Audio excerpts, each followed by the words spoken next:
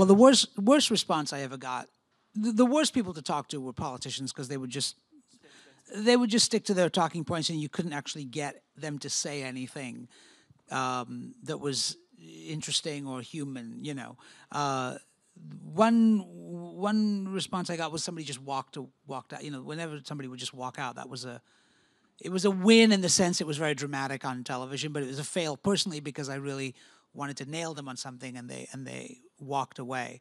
Um, but there were a lot of great pieces that I that I feel really proud of. You know, Anybody ever like curse you out or anything?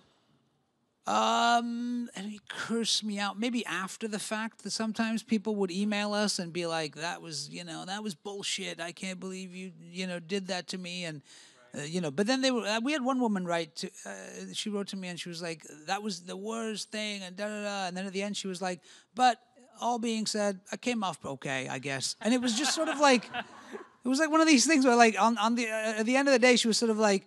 I, I, I, you know, I was on TV, so that was fine. You know, that was the thing I realized that like people just want to be on TV. People just want to say their, they want to get on TV and they want to spout their opinion. You know, and that's how people get elected as president. Yeah, we kind we kind of see that now on CNN with all the people they keep interviewing that are still Trump supporters that show Oh, yeah. up on panels and they're Yeah, yeah, why- like, I- what are you doing going on TV? Who are this?" those people? Like I don't even know. You know, it, it, I, I watch CNN all the time, and it's there's always like those four guys. Like wasn't it? Um, they, they they sort of have one will last for a few months, and then he'll then they'll get. Jeffrey Lord was there for a while, and now I don't see him anymore. And then there's a different. You know, now there's a new guy. You know. A couple of them are from his campaign. There's that guy Yeah. that looks like a slug with a goatee. Oh, yeah. Like I can't remember. Oh, oh, the guy with no chin. yeah, the guy with no chin.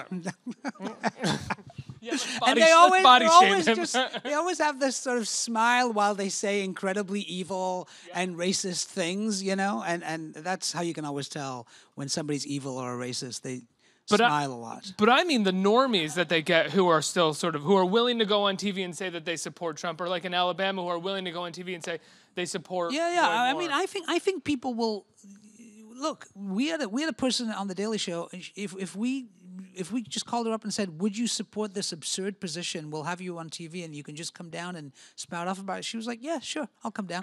And- and- you know what I mean? And it was like it would be like you know, just can you would you support baby killing? And she was like, "Absolutely, I'll come down and talk about how all Time do need babies me? should be killed." And and you know, and it wasn't even for the money; it was for the exposure. It was literally just to get out there and just so people, uh, you know, people will. You can get anybody to come on TV and say pretty much anything.